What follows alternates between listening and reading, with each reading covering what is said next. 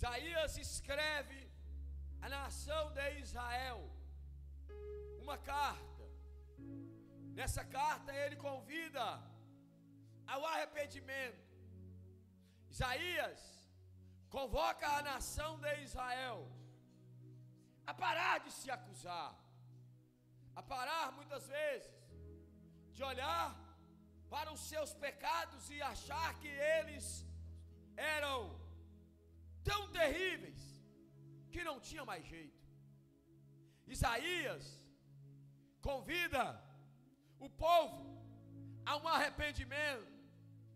Então ele faz algumas comparações e ele fala de uma forma, de uma linguagem para a qual as pessoas pudessem entender. Não adianta pregarmos o evangelho aonde as pessoas não entendem aquilo que é falado.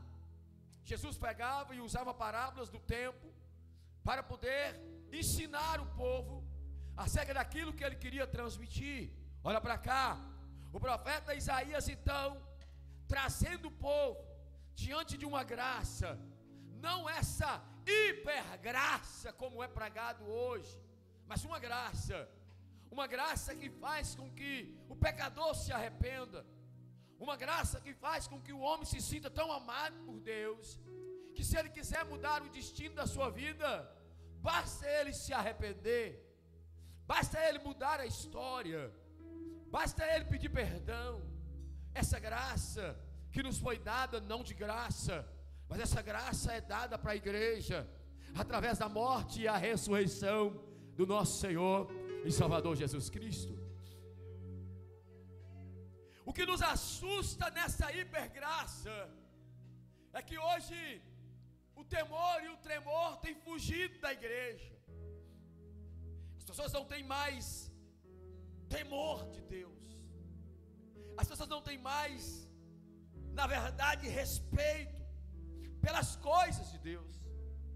Entram na igreja, estão no domingo na igreja, mas na primeira festa do final de semana se desdobram, faz live ao vivo, vestem roupas extravagantes para envergonhar o evangelho de Cristo, para envergonhar a igreja, para envergonhar a noiva.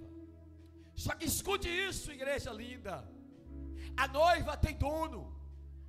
E ela e o dono é ciumento. Ai daquele que fizer desviar um dos meus pequeninos, melhor é pegar uma pedra, amarrar no seu pescoço e pular-se ao mar. Escute isso aqui. Essa graça que Isaías nos ensina não é uma brincadeira. A graça que Isaías nos ensina antes da vinda de Cristo é algo revelador, é algo assustador. Que ele diz do tamanho e do nível do seu pecado. Preste atenção. Estamos vivendo uma geração onde não tem mais medo da mão de Deus. Estamos vivendo tempos em que as pessoas estão simplesmente brincando com o Evangelho. Querem causar, querem ter like, querem chamar a atenção, querem curtir tudo e serem curtidos por todos. Posso fazer isso, apóstolo? Pode. Posso postar foto na internet com biquinho? Pode. Pode postar foto na internet com vestido rasgado até aqui? Pode. Só não pode entrar no céu dessa forma. Pode pregar em pecado? Pode. Pode cantar em pecado? Pode. Pode dizimar em pecado? Pode. Só não pode morar no céu em pecado. Só não pode acessar o Santo dos Santos em pecado. Por quê? Porque Deus não é homem para que minta, nem filho do homem para que se arrependa. A minha função nessa casa é levar a noiva a encontrar-se com o noivo, não com a roupa manchada, mas com a roupa branca, lavada no sangue do Cordeiro de Jesus. A igreja Herbe não é uma igreja de porta larga.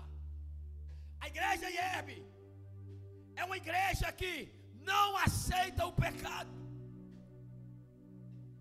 Gostamos de bobagem, de religiosidade, de preocupação com brinco, cabelo, essa bobajada. Mas pecado é pecado na Assembleia de Deus, pecado é pecado na Batista, pecado é pecado na IEB, pecado é pecado na Deus e Amor.